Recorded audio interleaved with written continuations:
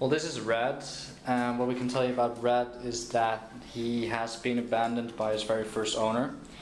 Um, when that happened, another person found him and basically took him in. He took really good care of Red, but after a couple of years, the owner got into some financial problems in which he had to surrender both of his dogs. Um, as you can see, Red has some skin issues right now, but we're trying really hard to cure him from that. Other, uh, what we can say other than that is that Red is a really, really nice dog. As you can see, he loves people, and people love him. I'd say come check out Red.